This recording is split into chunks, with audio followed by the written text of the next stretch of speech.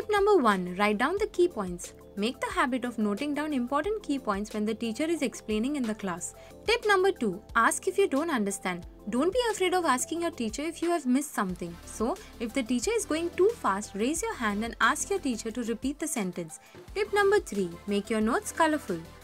Many students find that adding a splash of color to their notes helps to make the information more readable and easier to retain for a longer period of time because it has been proven that color stimulates the creative side of the brain plus it makes it more interesting to read.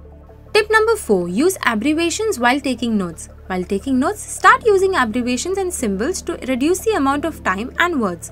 Tip number 5 Recopying. In case you have scribbled down your notes in a hurry, you might not understand it properly. So, once you reach home after school, recopy them if you need to. Recopying them in a separate notebook will help you to learn and remember what you wrote